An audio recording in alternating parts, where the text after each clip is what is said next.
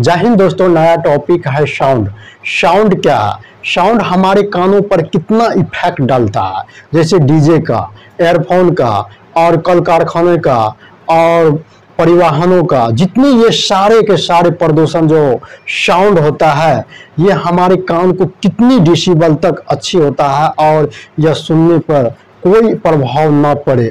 यह ज़्यादा सुनने, शोरगुल होने पर हमारे कान की सिस्टम जो है बिगड़ सकता और कान की पर्दा फट सकता और हमारे कानों की से अंदर से खून बहना शुरू हो जाएगा, ब्लड बहना शुरू हो जाता है, जिस कारण से हमारे मानसिक संतुलन अच्छी नहीं रह पाती है। और कितनी साउंड जो हमारे शरीर के लिए फायदामंद है, जो साउंड जो है प्राश्वस साउंड जैसे उपयोग प्रसव तरंग जो है संकेत भेजने के रूप में साउंड का प्रयोग किया जाता है। जैसे गठिया दर्द को ठीक करने में साउंड का प्रयोग किया जाता है। अल्ट्रासोनिग्राफी में किडनियों के छुपे पत्थरों को तोड़ने में इत्यादि में साउंड का प्रयोग किया जाता है। और चिमनियों को काली कारखानों में वायुयन के घड़ी के पार्ट पुर्जे को साफ़ सुथरे में इसी पार्श्व साउंड का प्रयोग किया जाता है। धातुओं के भीतर दरार को पता लगाने में इसी प्रकार के साउंड छोड़ा जाता है। उससे पता चल जाता है कि कहाँ धातुओं के दरार हो चुके हैं। और घरों के चारों ओर से सुरक्षित में, हमारे घरों में चोरों ओर से बचने के लिए एक बैल लगाया जाता है। उसी में इस साउंड का प्रयोग, अचानक उसको क्रॉस करने पर वह ऑटोमेटिक ही वो साउंड देने लगता है। जैसे घरों में आम आदमी को पता चले तो हमारे घरों में कोई घुस गया है, आ गया है। और इसे सुरक्षित कर पाता है। पौधोशाला में जब छोटे छोटे ट्रंक छोटे छोड़ दिया जाता है तो वह छोट वह पौधा उसमें सबसे ज़्यादा वृद्धि होने लगते हैं और उसका ग्रो सबसे ज़्यादा होती है। तो आता है साउंड साउंड जो है एक माध्यम से नहीं चलती है। साउंड जो है एक रैंडम मौसम से, ऐसे, फिर ऐसे फिर ऐसे फिर ऐसे, इसी प्रकार के चाल से चलती है साउंड जैसे कि मान के चला जाए कि हम वहाँ पे कोई डीजे वगैरह, हमको कान तक जो ध्वनि जो आता है, इसी के रैंडम मौसम से आते हैं। यानी कि घूमते हुए गति से हमारे कान तक आती है। जब हम कोई बात करते हैं तो उसके कानों तक जो जाते हैं कि वह रैंडम मौसम यानी घूमते घूमते जाती है या डायरेक्ट नहीं जाती है। इसी साउंड होता है। साउंड अब किसे कहा जाता है? ध्वनि को एक स्थान से दूसरे स्थान तक जाने के लिए ठोस या द्रव या गैस की आवश्यकता होता है। उससे हम साउंड कहते हैं। मानते चलिए, हम साउंड जो है, एक तार के माध्यम से भी हम भेजते हैं, या या ठोस या कोई भी हो वस्तु, उसके माध्यम से भेजते हैं। यानी तो डायरेक्ट जो है, गैस के रूप में, हवाओं में जो भेजते हैं, गैसों में तो उसे हम साउंड इस प्रकार से है। ध्वनि को, दाब को कोई प्रभाव नहीं पड़ता है। ध्वनि जो है हमारे, उस पर जो प्रेशर पड़ता है वायुमंडल का, कोई प्रभाव उस पर नहीं पड़ता है। उसके बाद आता है, घनत्व के बढ़ने से ध्वनि का वेग बढ़ जाता है। घनत्व, जब कुहासा वगैरह में जब उसका डेनिसिटी बढ़ता है तो उस पर कोई प्रभाव नहीं पड़ता है। ताप बढ़ने से ध्वनि का वेग बढ़ जाता है। गर्मियों के मौसम में उसका जो है गति स्पीड ज़्यादा हो जाता है, उसका गति बढ़ जाता है। जब ध्वनि एक माध्यम से दूसरी माध्यम में जाता है, उसका वेग तथा तरंगेर बढ़ जाता है, लेकिन फ्रिक्वेंसी आवृत्ति नहीं बदलती है। जब ध्वनि जो है एक स्थान से दूसरे स्थान तक संचरित करती है, उसका वेग बदल जाता है, लेकिन फ्रिक्वेंसी जो है आवृत्ति नहीं बदलती है। निर्वात में ध्वनि संचरित नहीं होता है जिस कारण से चंद्रमा पर ध्वनि नहीं सुनाई देता। जैसे चंद्रमाओं पे जो है ध्वनि होता है वहाँ पे साउंड नहीं, वहाँ पे निर्वात होता। है जैसे वैक्यूम में कोई प्रकार वैक्यूम में ध्वनि निर्वाहक यानी कि संचरित नहीं करता। है तो वहाँ पे वैक्यूम वहाँ पे है, चंद्रमा पे इस जगह, वहाँ पे निर्वात हो गया, वहाँ पे साउंड संचरित नहीं करता। है वहाँ पे ध्वनि नहीं सुनाई पड़ती है। एक तरंग का तरंग है, तीन सौ स्ट्रॉन्ग है तो उसकी आवृत्ति क्या है? एक क्वेश्चन है, एक तरंग का तरंग धैर्य, तीन सौ स्ट्रॉन्ग है तो उसकी फ्रीक्वेंसी आवृत्ति कितना होगा? मान के चला यहाँ लेमडा लेमडा बराबर कितना है? तीन सौ स्ट्रॉन्ग है। तीन सौ स्ट्रॉन्ग है। इसको हम डायरेक्ट करेंगे तो 300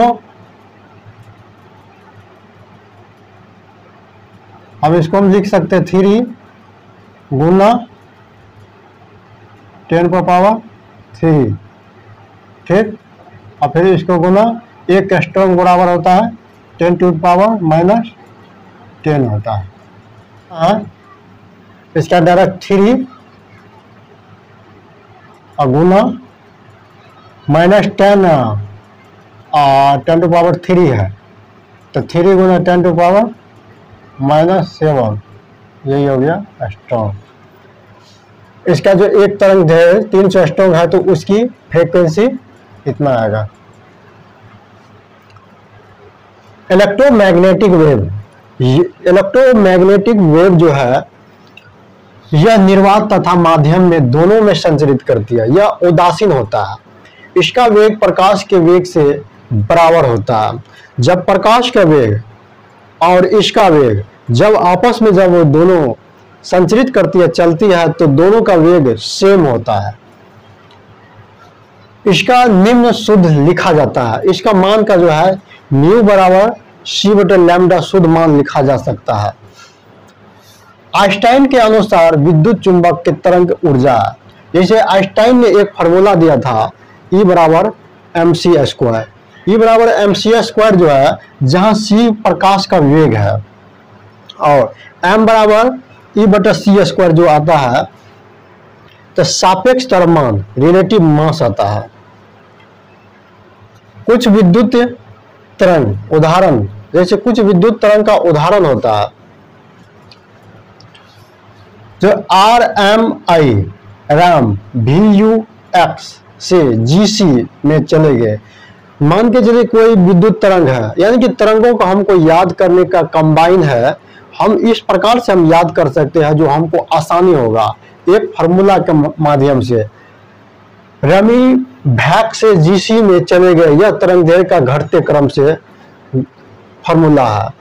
यहाँ पे यह फार्मूला का यूज़ किया जाता है। तो इसे हम पहले एक क्वेश्चन को आपको बता रहे हैं। तो एक क्वेश्चन जो है, निम्न में से किसका तरंग दैर्घ्य सबसे अधिक होगा? निम्न में से जितनी, ये जितनी तरंग दैर्घ्य है ये इसमें सबसे ज़्यादा किसका तरंग दैर्घ्य होगा? उसमें सबसे ज़्यादा तरंग दैर्घ्य अवरक्त का होगा।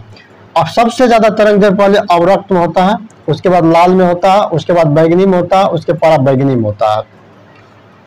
ये क्वेश्चन को आप आसानी से याद रखें। सबसे पहले सबसे ज़्यादा तरंग है अवरक्त में, उसके बाद लाल में, उसके बाद बैगनी में, उसके बाद पारा बैगनी में आता है।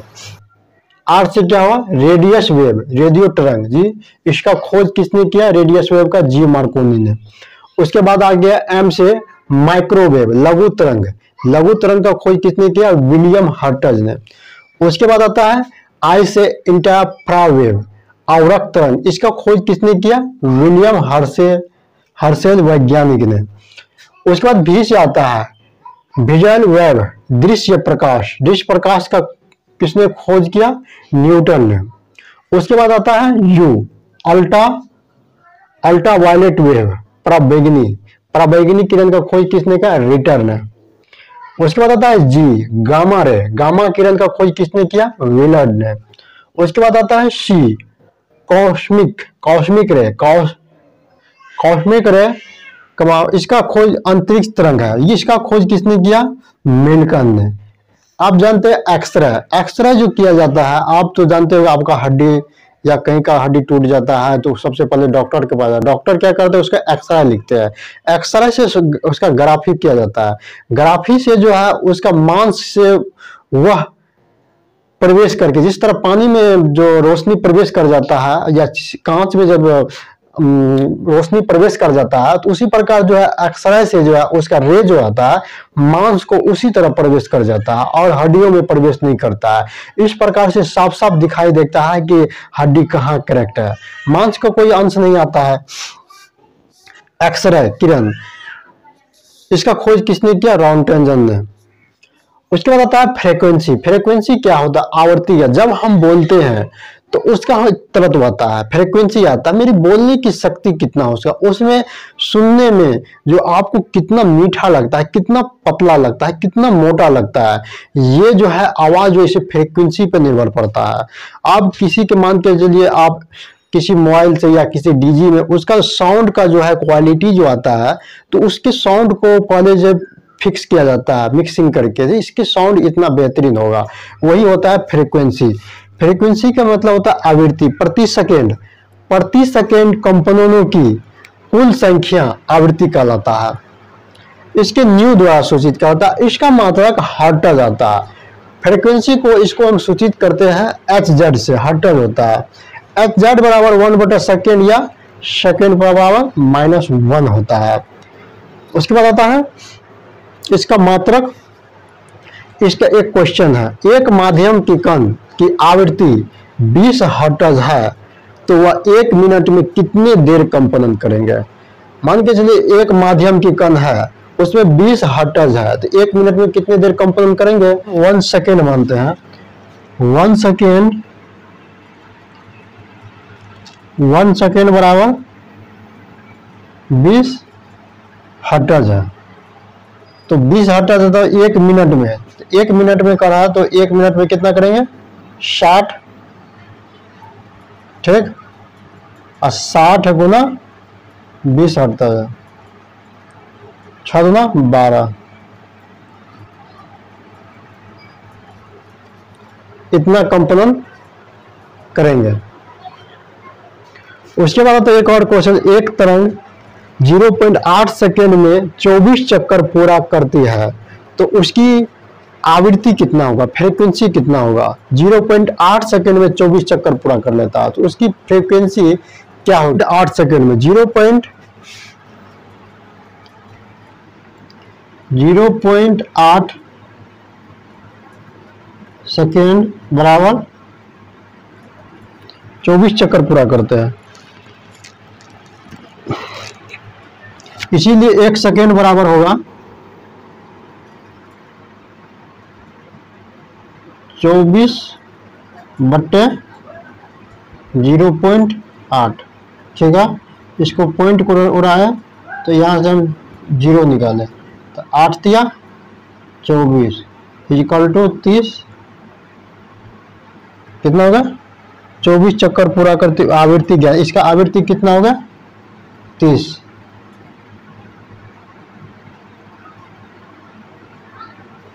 फ्रिक्वेंसी होगा। इसका कितना आएगा? तीस फ्रीक्वेंसी आएगा। सिंपल सवाल।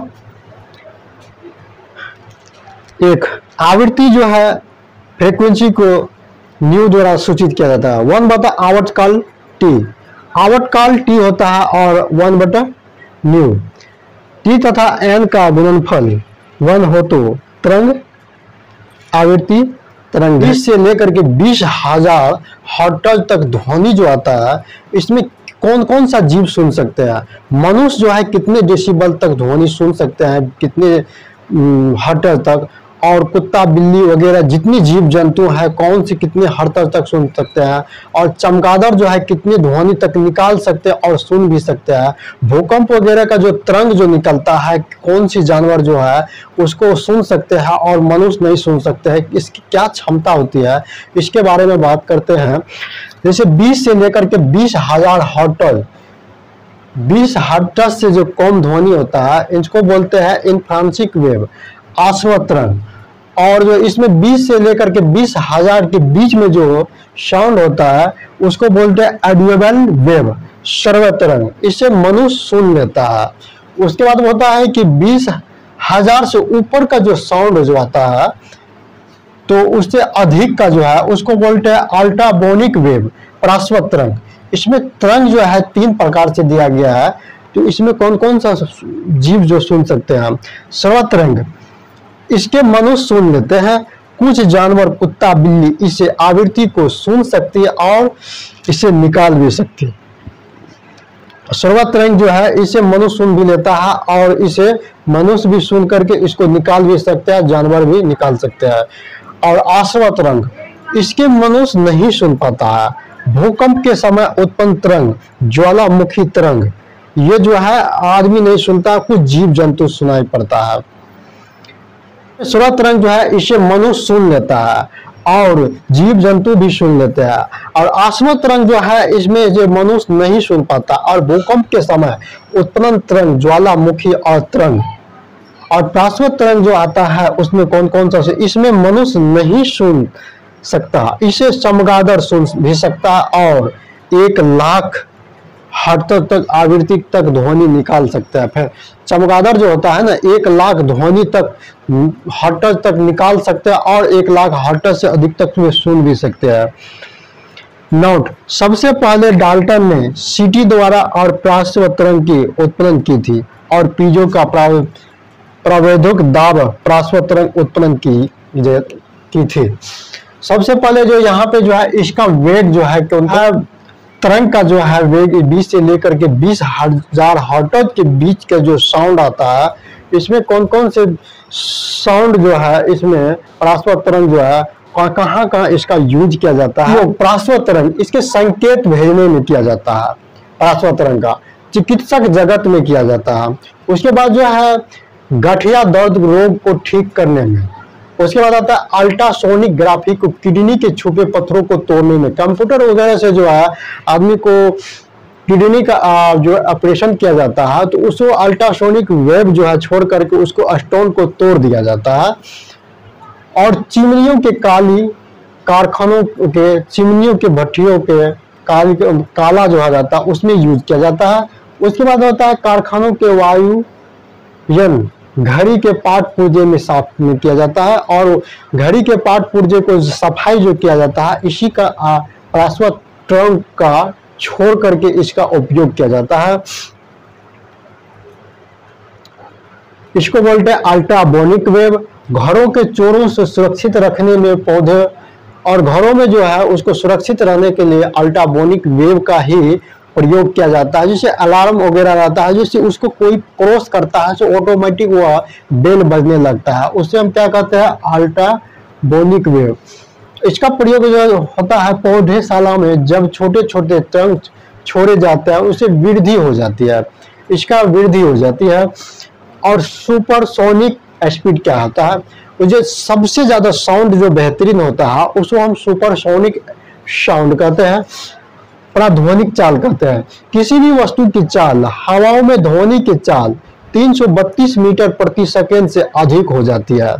तो उससे हम क्या कहते हैं? जब कोई साउंड होता है 332 मीटर प्रति सेकेंड से अधिक हो जाती है तो उसे सुपरसोनिक स्पीड कहा जाता है। मैक की संख्या पर फाइव होती है। जैक की संख्या वस्तु की जैक की संख्या बराबर होता है। वस्तु की चाल बता ध्वनि की चाल होता। है इसमें जब हम, इस पे जब हम कोई नोमरिकल वगैरह जो हम निकालेंगे, इसका जो कोई सवाल होगा तो इसका होगा मैक की संख्या बराबर वस्तु की चाल होता है ध्वनि की चाल। जो चाल होता है माध्यमों में ध्वनि की चाल होता है जो CO2 में 260 ध्वनि की चाल स्पीड होता। है वायु में जो होता है 332 मीटर प्रति सेकेंड होता। है भाप में जो है 405 मीटर प्रति सेकेंड होता। है वायु में इतना हो गया? अल्कोहल में जो है 1213 मीटर प्रति सेकेंड होता है।